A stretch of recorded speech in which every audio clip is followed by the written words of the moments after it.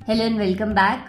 तो आज ये गाइडेंस उन लोगों के लिए है जो कहीं अपने प्रोफेशनल लाइफ में स्ट्रगल कर रहे हैं, अपनी जॉब में स्ट्रगल कर रहे हैं, या फिर उनको लग रहा है कि वो स्टक है अपने करियर में, उन्हें कुछ समझ नहीं आ रहा, उनकी लाइफ में मनोटनी आ गई है, कि कहीं भी रेजोनेट होती है, या आपको लगता है कि हाँ मैं अपनी लाइफ में इस गाइडेंस के थ्रू कुछ चेंज ला सकता हूँ जो मेरे फ्यूचर के लिए, मेरे करियर के लिए और मेरी प्रोफेशनल लाइफ के लिए बेटर होगी। तो प्लीज़ आप इस गाइडेंस को ध्यान से सुनिए। हम रीडिंग स्टार्ट करते हैं। So thank you divine thank you universe thank you angels my guardian angels please be with us thank you thank you much thank you so so हमारा पहला कार्ड है two of pentacles second card है हमारा magician and third card है हमारा five of pentacles world हमारा three D world या कह लो हमारा जॉब का एस्पेक्ट uh, होता है हमारी प्रोफेशनल हमारी। सो so, अभी सिचुएशन थोड़ी आपकी रफ है। uh, जैसे यहाँ पे इस कार्ड में हमें फाइव ऑफ़ पेंटिकल्स में ये दिख रहा है कि बहुत स्ट्रगल है आपकी। एटमॉस्फेयर एनवायरमेंट सर्कमस्टांसेस आपका साथ नहीं दे रहे। मे बी आपकी जॉब चली गई हो। या आप जॉब में स्टक फील कर रहे हो, या जो आप जॉब कर रहे हो, वो आपको पसंद ना हो तो ये मुझे सिचुएशन अभी आपकी करंट दिख रही है कि कहीं ना कहीं एक स्ट्रगल है इस टाइम पे आपके करियर रिलेटेड या प्रोफेशनल फ्रंट पे।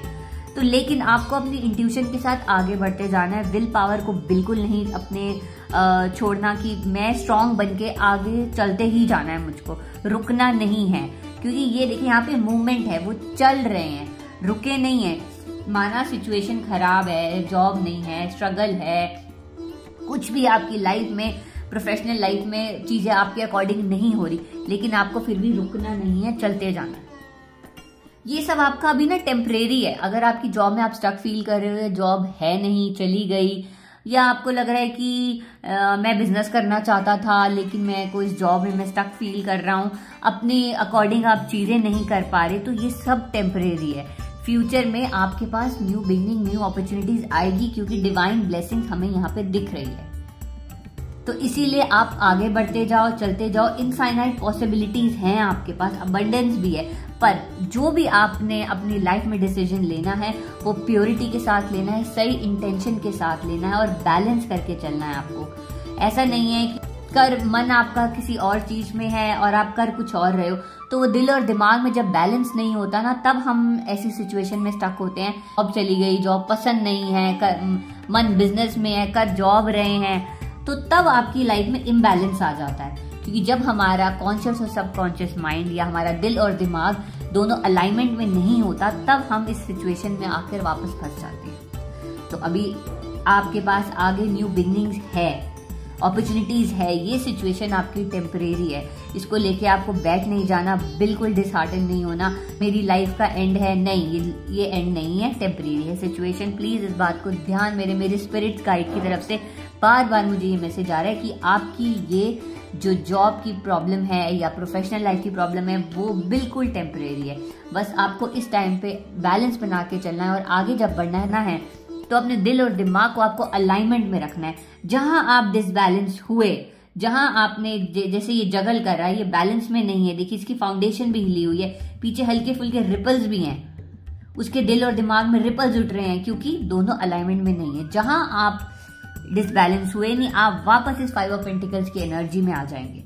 तो प्लीज़ बिल्कुल आपको इस सिचुएशन को अपने ऊपर हावी नहीं होने देना। अबंडेंस है आगे। मजिशियन कहता है, जादू।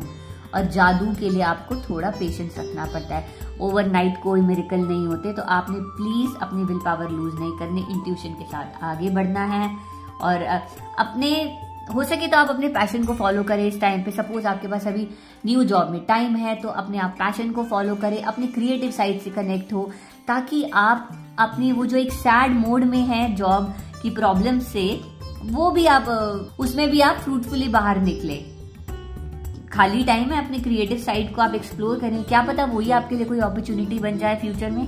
सो so, प्लीज़ अपने आप को इस टाइम पे बहुत स्ट्रांग रख के चलना है करेज के साथ और अपने कॉन्शियस और सबकॉन्शियस माइंड को अलाइनमेंट में रखते हुए चलना। है फ्यूचर में आपके पास सब कुछ है। इमोशनल आपका बैलेंस में रहेगा। Earthly desires earthly materialistic desires सारे आपके फुलफिल होंगे। पूरी अबंडेंस है आपके पास। तो क्योंकि यहाँ पे हम मजिशियन है और मजिशियन कहता है इनफाइनाइट पॉसिबिलिटीज क्योंकि जब हम कोई मैजिक शो देखने जाते हैं तो वो हमें एक ही चीज़ से कितने सारे मैजिक दिखा देता है। अपनी एक पॉकेट से कभी वो रैबिट निकालता है, कभी वो फ्लावर बनाता है तो यानी कि एक पॉकेट से उसने कितने सारे आपको मैजिक दिखाए होते हैं। तो प्लीज़ अपने आप को स्ट्रॉन्ग करते हुए आपको आगे बढ़ना है। सो आई होप आपको ये गाइडेंस और ये रीडिंग रेजोनेट करेगी। जहाँ भी आपको कुछ स्टक uh, फीलिंग आ रही हो तो प्लीज़ इस गाइडेंस को सुनना और आगे बढ़ना। एंड आई होप ये आपको रीडिंग रेजोनेट करेगी और कहीं ना कहीं कोई ऐसी uh, मेरी बोली हुई बात आपको एज अ गाइडेंस अपने फ्यूचर के लिए काम आएगी तो प्लीज़ ध्यान से अपनी लाइफ को अपने दिल और दिमाग को लेके आगे बढ़ते हुए चलना है। And thank you follow for more